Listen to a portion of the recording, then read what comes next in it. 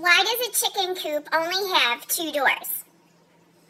Because if it had four doors, it'd be a chicken sedan.